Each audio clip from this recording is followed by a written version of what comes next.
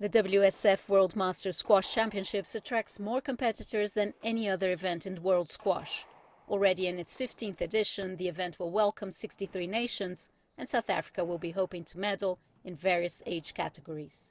The standard in SA at a master's level is very high. They've introduced a national tally of medals, and SA, I think, uh, of the big nations, they, I think we came first or tied first or something.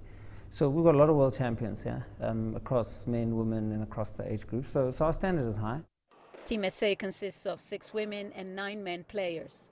15 of the South African selected players count amongst the top seeds at the championships. South Africa's picked a team uh, on the basis that people can win medals. We take it seriously, I mean, as athletes, and, and everyone's honoured to be in the side. There's been a good vibe, good banter on, on WhatsApp. So I think as in previous years, I mean, we'd like to, you know, get the most world champions and, and the most silver medals, bronzes, uh, etc. Zuko Kubukeli, the 2018 British Masters Open champion, is honoured to compete at this level and has his sights set on achieving top honours at this year's World Squash Masters.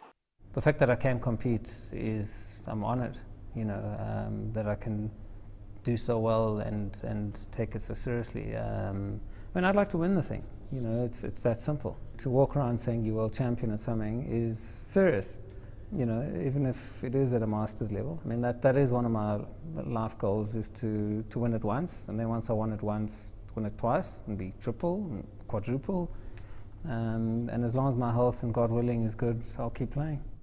The event, which attracts players from all over the globe, aged from 35 to over 80, will take place from the 29th of July to the 4th of August. Julie Scheier, CGTN, Johannesburg, South Africa.